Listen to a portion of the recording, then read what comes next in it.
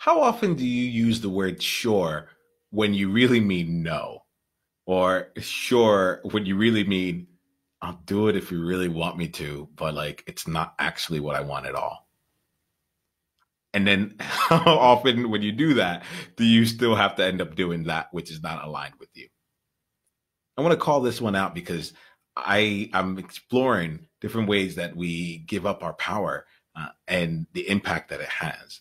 And in looking at this here, I find that the things that are really disempowering to us uh, show up in like very innocuous ways. And here goes the thing. The reason I'm paying attention to this here is that as outliers, as pioneers, as mavericks, as trailblazers, like who we are and the unique way that we see the world has value. And it's something that I know that a lot of us are working and saying, how do I create my impact in the world based on what is actually important to me as opposed to what is just externally accepted? And this word sure is one of the biggest barriers for people being able to understand what is actually important to them.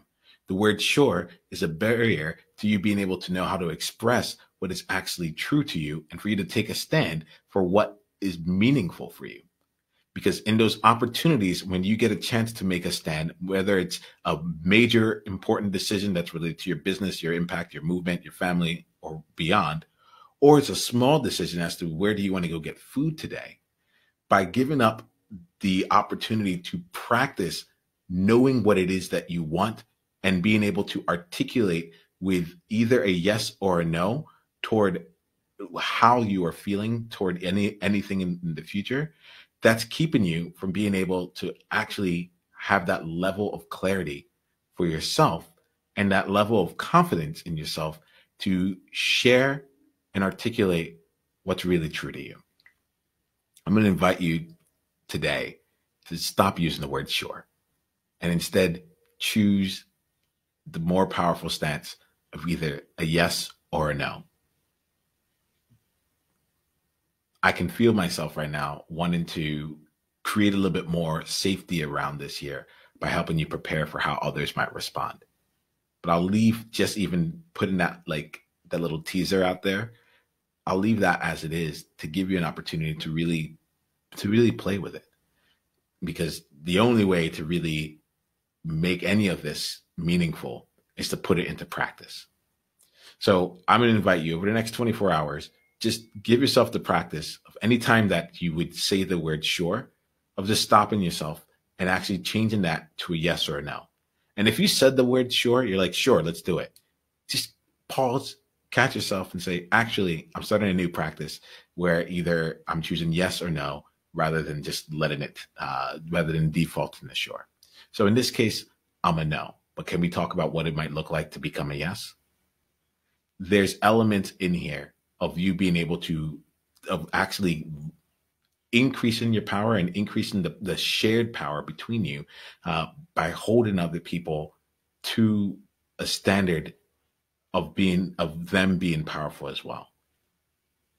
But here goes the thing: when we diminish our own power, when we give that away for others, we do it through this innocuous ways, just like the word "sure." You make the decision for me. I don't really want to, but I'll go along with this, and I give you the power to free me of having to do this thing that I don't want to do.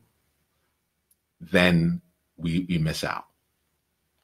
And I can imagine that not every single time that you say the word shorter, times you say the word sure where you really mean yes. And I get you on that. And I'm going to still invite you to simply make your yes be your yes and your no be your no. And to just be be clear with that yourself so that others can be clear with you. And then we'll talk about like continuing to navigate what happens afterwards, after the yes or after the no. But that's the game and oftentimes it's the place that we're afraid to actually be confronted with. So I'm going to invite you over the next 24 hours to remove sure from your your uh, dictionary, uh, and instead just use yes or no, and then come back and let us know how did that experience go for you, what challenged you, how often do you find yourself using uh, using that word rather than having a clear stance as to how you sit around something. I don't think being clear does not mean that you're being unreachable. It just means you're being clear. if you want a place where you can practice this uh, or and even experience what it's like to be in a shortlist conversation, uh, or actually, no, I, I, actually don't like to define things by what it isn't. So by being in a conversation where yes and no actually are the the guiding uh, platforms in which we move forward, then you're going to want to come and have an experience of the Trailblazer Tribe. Uh, just go to niiamah.com slash tribe. That's N-I-A-M-A-H dot com slash tribe.